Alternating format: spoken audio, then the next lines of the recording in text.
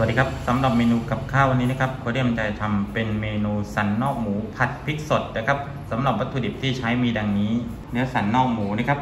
ให้เราหั่นเป็นชิ้นสี่เหลี่ยมพอประมาณนะครับพริกแดงจินดากระเทียมตำพอหยาบๆวันนี้ผมจะใส่ต้นหอมหั่นท่อนลงไปด้วยครับพริกขี้หนูบุก ซอสหอยนางรมซีอิ๊วขาวหรือน้ำปลาก็ได้นะครับผงปรุงรสรสหมู น้ำเปล่าเล็กน้อย โอเค เดี๋ยวเรามาชมวิธีทำกันครับน้ำมันสำหรับผัดนะครับ เราก็จะใส่เล็กน้อยก็พอพริกกระเทียมครับ ถ้ามีเวลาก็นำเนื้อหมูไปหมักในข้าวใส่เรื่องรมผงปรุงรสนิดนึง แล้วก็น้ำมันพืชนะครับ แล้วก็พริกไทยนิดนึงจะทำให้หมูเรานุ่ม ยิ่งกว่าเดิมนะครับเมนูกับข้าวง่ายๆสไตล์ครัวเที่ยวตามใจนะครับฝากกดไลค์กดแชร์กด subscribe ไว้ด้วยนะครับ ไม่ต้องรอให้พริกกระเทียมเรา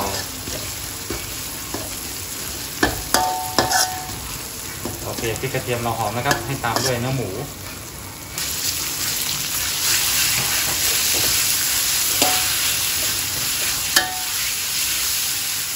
ให้เรา ปรุงรสเลยครับ ด้วยซอสหอยนางรมรสชาติจะได้ซึมซับเข้าไปในเนื้อหมูนะครับ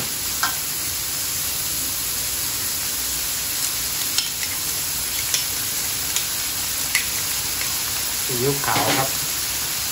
ใครชอบน้ำตาลก็ใส่น้ำตาลนะครับผมปรุงรสเล็กน้อย ใครไม่ทานก็ตัดเป็นน้ำตาลทรายแล้วนะครับ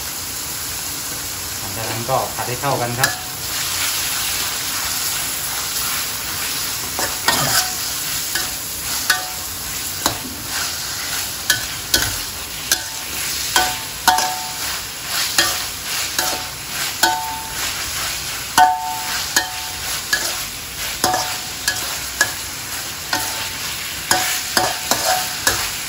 เติมน้ำล้างครกลงไปครับ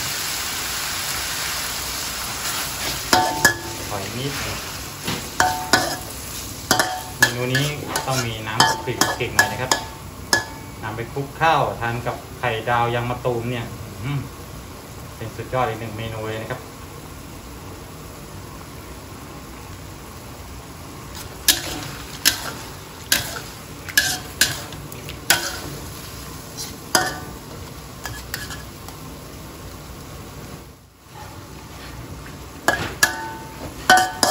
อยตามที่ต้องการนะครับ ให้ตามด้วยพริกขี้หนูสด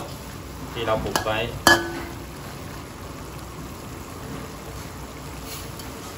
ผัดให้เข้ากันครับ รอให้พริกขี้หนูสุกเล็กน้อย โอเค จากนั้นก็ปิดท้ายด้วยต้นหอมเลยครับ จริงๆแล้วต้นหอมไม่ต้องใส่ก็ได้นะครับ แต่ผมอยากทานก็เลยใส่เข้าไป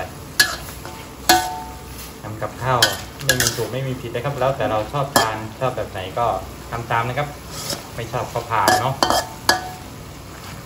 รอให้ต้นหอมสลดเพียงแค่นี้ก็พร้อมเสิร์ฟแล้วครับเดี๋ยวเราไปชมหน้าตากันในจานครับ ครับนี่ก็คือหน้าตาเมนูหมูสันนอกผัดพริกสดฝีมือเพื่อนเล่มใจนะครับเรามาทำทานกันดูนะครับทานกับข้าวสวยร้อนๆอร่อยแน่นอนครับ คลิปโดนใจฝากกดไลค์กดแชร์กดซับสไครต์ที่ทำใจ .com ไว้ด้วยนะครับ เราพบกันใหม่คลิปหน้า สวัสดีครับ